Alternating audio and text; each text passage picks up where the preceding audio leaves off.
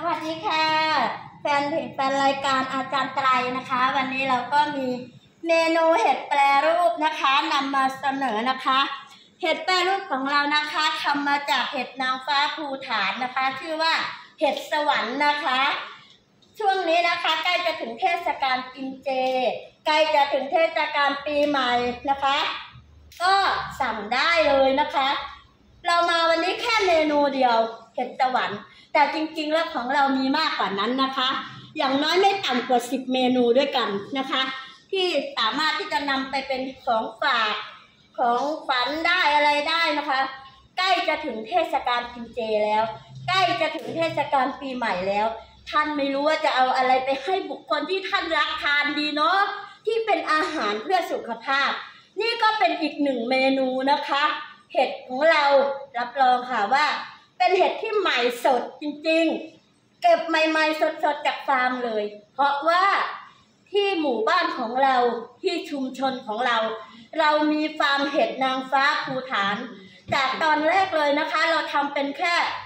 งานกลุ่มนะคะ เพื่อเพื่อที่จะให้ชาวบ้านมีรายได้เสริม แต่ทีนี้ด้วยภูมิปัญญาของผู้นำชุมชนของเรา คือผู้ช่วยบุษบาดอกจันทร์ท่านนี้ท่านเก่งยอด ท่านได้นำวิชาตรงนั้นน่ะที่ทำเห็ดภูฐานเนี่ยค่ะนำมาเป็น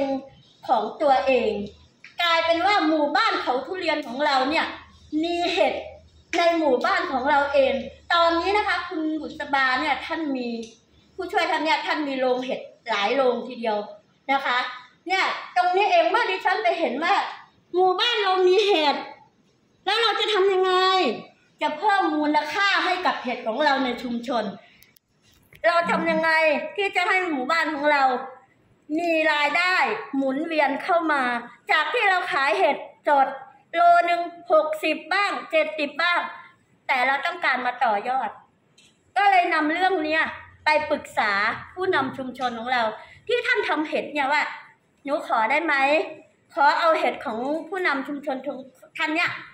มาแปรรูปเพื่อเอามาต่อยอด เพื่อเพิ่มมูลค่า แล้วก็คิดไอเดียว่า เอ๊ะเห็ดนางฟ้าภูฐานเนี่ยเขาทำอะไรได้มั่งอะ ก็ศึกษาจาก Google ศึกษาจาก YouTube ศึกษาจากผู้รู้ โอ้โห ไม่อยากจะพูดเลยค่ะ กว่าจะทอดเห็ดได้สำเร็จนะคะ ไม่อยากจะพูดเลยค่ะ กว่าจะมาถึงจุดนี้ได้น่ะเหวี่ยงกระทะเข้าป่าหลายรอบเหมือนกันเพราะว่าติดกระทะมั่งอะไรมั่ง วันนี้นะคะ เรามีสินค้า มีเห็ดแปรรูป เพื่อสุขภาพจริงๆ แล้วก็ปรุงด้วย เครื่องปรุงของเจล้วนๆ ไม่ต้องกลัวว่าเราจะโกหกนะคะ เรามีที่มาที่ไปนะคะ เพราะฉะนั้นก็ขอฝากสินค้าผลิตภัณฑ์ เห็ดแปรรูปของเราด้วยนะคะ